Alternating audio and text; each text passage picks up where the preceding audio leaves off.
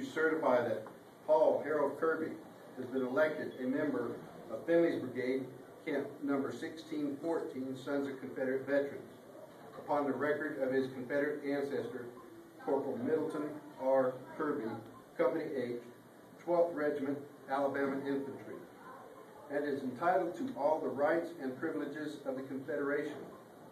In witness thereof, this certificate is given under the hand and seal of the Commander-in-Chief, duly attested by the Adjutant-in-Chief at International Headquarters, Columbia, Tennessee, this 27th day of June 2011. Uh, R. Michael Givens, Commander-in-Chief.